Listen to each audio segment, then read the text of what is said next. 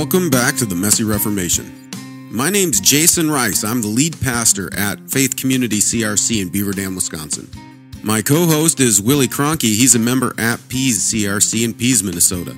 We're just a couple of guys who love the Christian Reformed Church and want to see Reformation happen in our denomination. But we realize that whenever Reformation happens in the history of the church, things get messy. And as we prepare for Synod 2024, things continue to get messy. So we're taking the opportunity to have conversations with pastors throughout the Christian Reformed Church to find out what's going on in our denomination, but also to talk about what Reformation might look like. If you haven't already, take a moment, click subscribe so you don't miss any of our upcoming content. We're dropping episodes every single Sunday evening.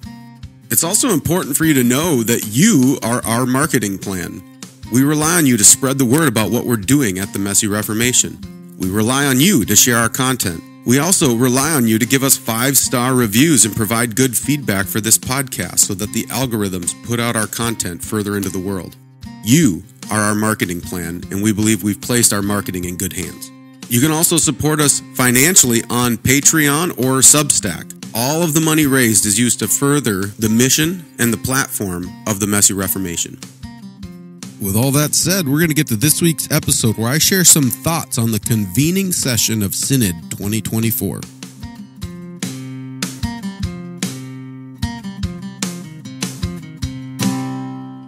Well, Synod 2024 kicked off this past Wednesday night online, and really not much happened in the meeting. Delegates learned how to use the voting system, and the officers of Synod were elected. You know, they, they decided to hold this meeting a few weeks before Synod in order to help things go more smoothly once delegates meet in person. Holding the convening session a few weeks early helps the advisory committees get some of the get to know you things out of the way ahead of time. That way, when they get to Synod, they can just get right to work. It also gives the officers of Synod a couple of weeks to prepare and get ready for the task at hand. And, you know, we did this in 2022 and it seemed to help out quite a bit. And so after the debacle of last year's Synod, where we didn't get all of the work done, I really think it was a good idea to meet online again ahead of time. However, even with such a small agenda, I think this convening session sent a strong message to the denomination. Things are changing. Things are not the way they've been for the past decade or even two decades. Something's happening in the Christian Reformed Church, and that has some people rejoicing, and has other people screaming, and has some people weeping but things are changing nonetheless. And really, it was the election of Synod officers that caused all of this. It started with the election for Synod president. There was a solid list of names on the ballot. Many of those names were familiar CRC names, people who've been involved in the institution for years. Some of the names just won big awards in the denomination and they fund large portions of the denomination. And yet, Derek Buikema was elected as president of Synod 2024 on the first round of voting. That means he received over 50% of the vote the first time around. And you know, on the one hand, it, it just shows how competent Derek is at this job.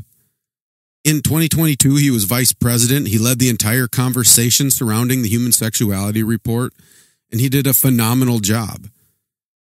I was just speaking to one of the other delegates from Synod 2022, and they said, I've never seen someone lead a meeting so well in my entire life. He's extremely gifted and competent for the job. And, you know, by the way the initial voting went, it seems like many other people felt the same way as this other delegate.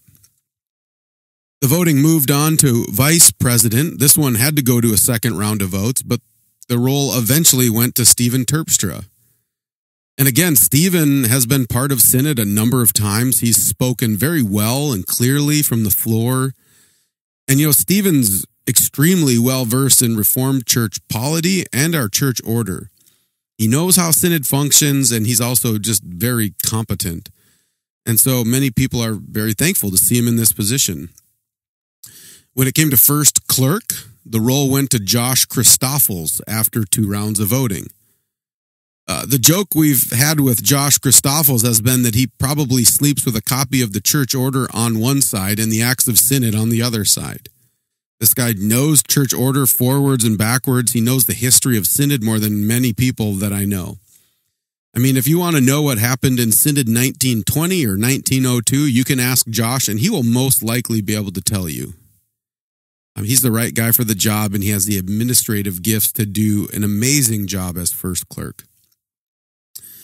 I have a personal appreciation for who ended up being voted in for second clerk, who's Dan DeGraff. And anyone who's paid attention to the Messy Reformation should know that Dan DeGraff is on the Messy Reformation team. And so it's exciting to see someone from our team being voted into this type of leadership role at Synod. Dan has attended Synod a number of times. He's also represented himself very well at Synod. Uh, the first time I met Dan was at Synod 2022, and I heard him speak well and effectively and passionately from the floor about our confessions and our doctrinal standards. And so I went and talked to him. We got to meet, and I knew right away that we needed his gifts and talents on our team. And Dan's played a massive role on the Messy Reformation on our team, uh, much more than just writing the podcast summaries. And, and, you know, Dan's a very administrative guy, which makes him a great clerk. And so I'm thankful to see him in this position. And I believe we'll eventually see Dan serving as first clerk sometime in the near future. And so we've got a great slate of officers for Synod 2024. But you know what that means, right? Um, if I'm excited about the officers at Synod, you can be pretty certain there are some people who are very unhappy with this.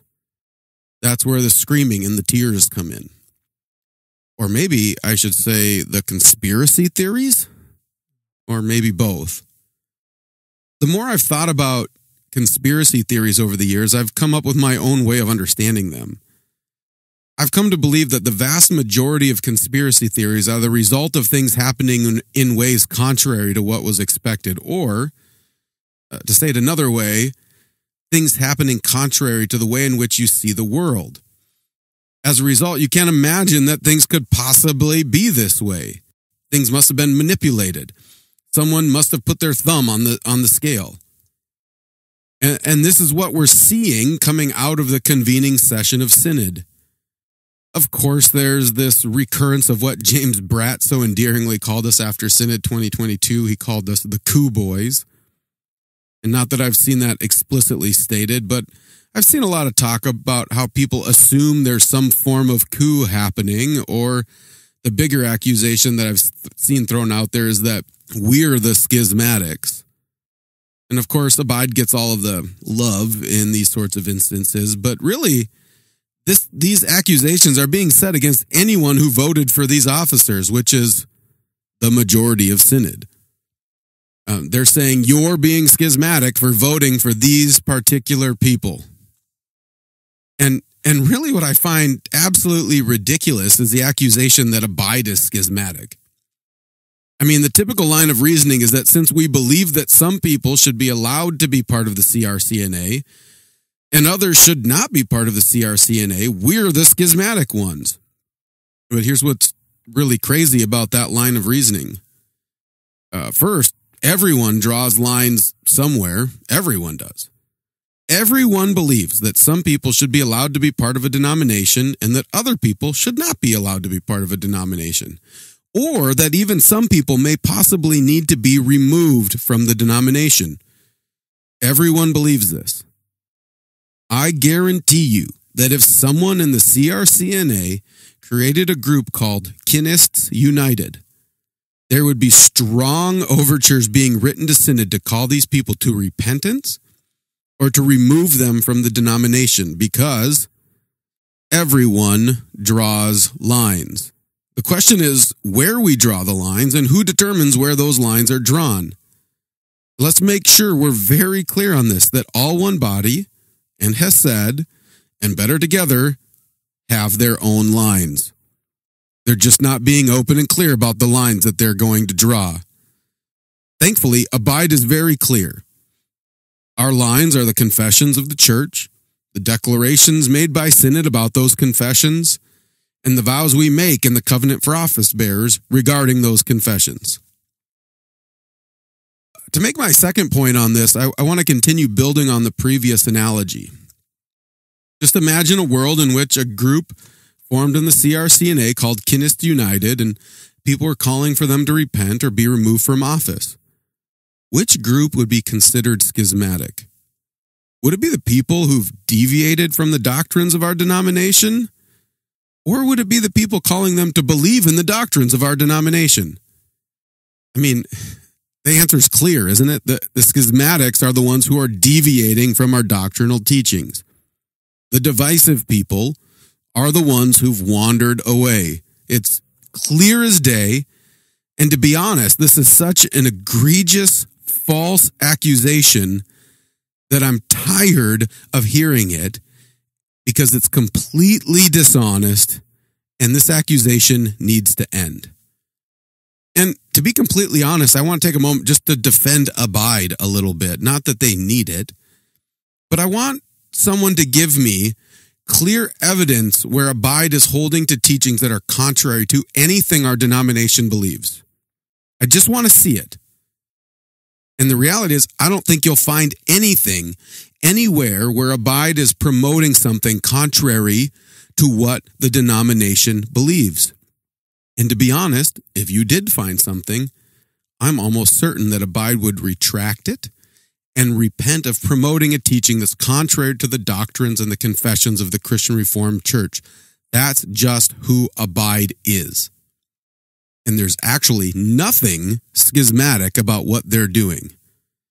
What they're doing is literally calling the denomination to act in accordance with our official teachings and our official church order. That's it. It's only because we haven't been doing this for decades that anyone sees a problem with it. There's also been a lot of screaming and weeping over the lack of diversity amongst the officers. Of course, the banner had to tip its hat in this direction as well with the headline Four Midwestern pastors elected as officers of synod. I've heard people frustrated that there are not women amongst the officers, just like last year. I've heard people frustrated that there were no people of color amongst the officers, just like last year. I've heard people frustrated that there's no Canadians amongst the officers, which isn't actually true, but it's still just like two years ago. Stephen Terpstra is a Canadian and he's pastored churches in Canada. He just happens to be serving a church in the US right now, but we're told he doesn't count as a Canadian. He's not a real Canadian. Uh, whatever. But as you could tell, like this isn't anything new. This is pretty usual to what how things go. We don't have perfect representation on of of the denomination from the officers of synod. And besides all of that, like what does actual diversity look like? I mean, I was talking to someone recently from Iowa and they said, and I haven't confirmed this yet, but they said that nobody from Iowa has led synod for decades. I mean, if that's true, that's nuts because I mean, Iowa's like secondary mecca of the CRC apart from Grand Rapids. And so, like, where's the outcry about the lack of representation from Iowa? And, you know, I spent some time this week looking at a list of every officer of Synod for the past 40 years. And the only name from Wisconsin that I recognized was Les Kuiper, and he served twice, two times in 40 years. Someone from Wisconsin leading Synod. Where's the outcry about the lack of representation from Wisconsin? I mean, if we want to go down this rabbit hole, I'm sure we can find, and we probably would find, certain classes that have never been represented amongst the officers of Synod. And I want to know where's the outcry for this lack of representation? And, to be completely honest, I think people are just tired of the whole DEI diversity thing. I think people are tired of trying to keep up with ticking all the right boxes and manipulating the system in order to tick the right boxes. Instead, they just want to focus on getting the right people into the right positions. They want people who are going to do their job well and lead well. And it doesn't matter if they're from Canada, the Midwest, if they're white, black, Native American, or whatever. The only thing that matters is that we get the best people in these positions who will lead us well through the week so we don't have another debacle like last year.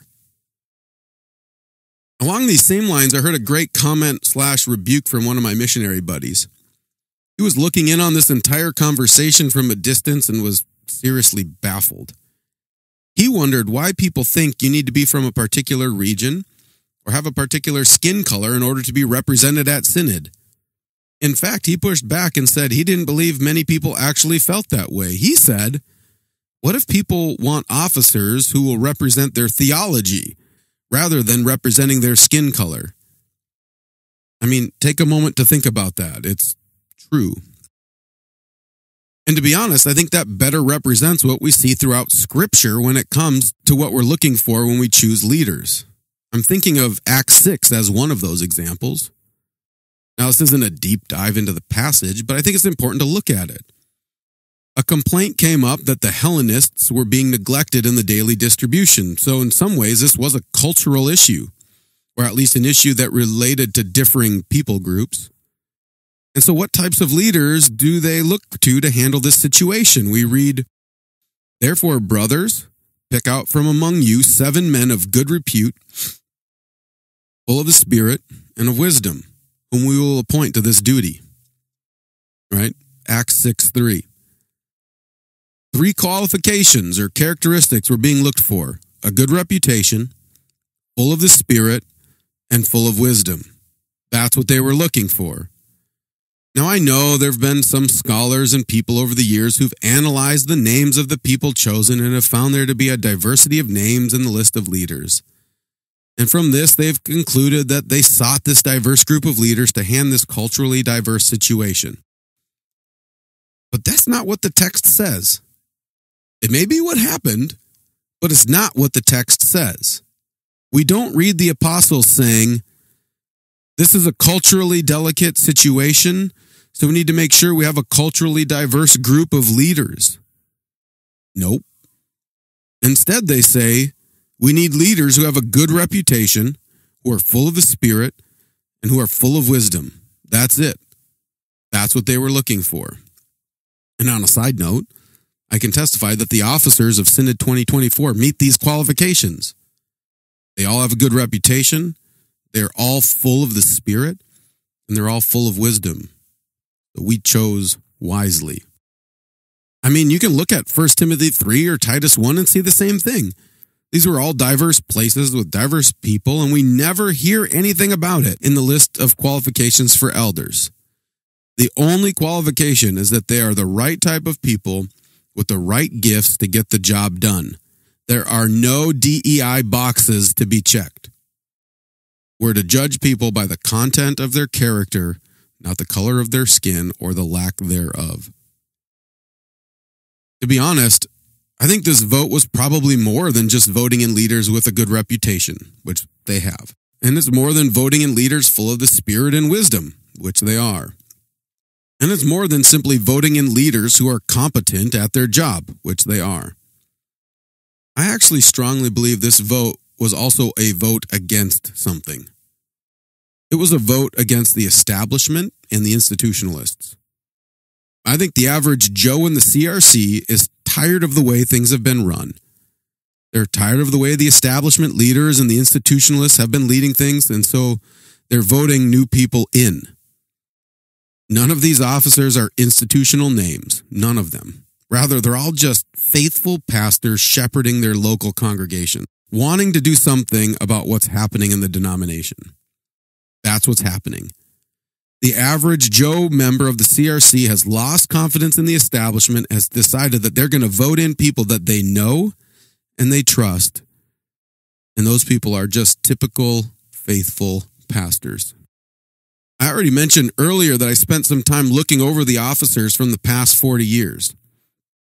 I didn't do an in depth analysis yet because I didn't have time this week, but I can tell you that after looking at that list for a while, you see a lot of familiar names, a lot of repeated names, and a lot of names that sound like establishment institutional names. You also see a lot of names from people who are within an hour radius of Grand Rapids. I mean, the officers of Synod for the past 40 years have been heavily stacked toward the Grand Rapids bubble, and people are tired of it. and they haven't liked the way that the Grand Rapids bubble has led them.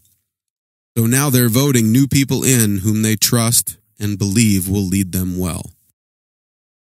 Here's what I think is really happening and what has happened.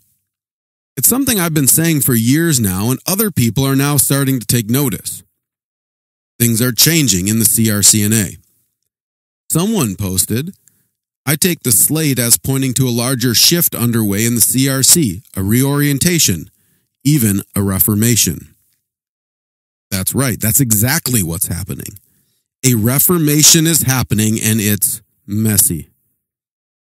These officers were elected not because of a coup or any form of political manipulation, but because a reformation is happening and things are changing in the Christian Reformed Church. This past week, I've been working on a sermon that includes the well known passage from Jeremiah 29, where God gives guidance to his people in exile. He says, Build houses and live in them, plant gardens and eat their produce, take wives and have sons and daughters. Take wives for your sons and give your daughters in marriage, that they may bear sons and daughters. Multiply there and do not decrease but seek the welfare of the city where I've sent you into exile and pray to the Lord on its behalf, for in its welfare you will find your welfare. While in exile, God's people were told to build and multiply and work for the good of the city. They weren't supposed to attempt to overthrow the Babylonian government, right? No coup.